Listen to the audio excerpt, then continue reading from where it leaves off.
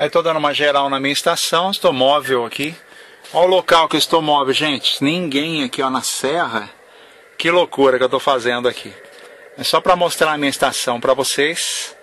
Eu tenho aqui o FT857D, o FTM350 e o Icon 880H.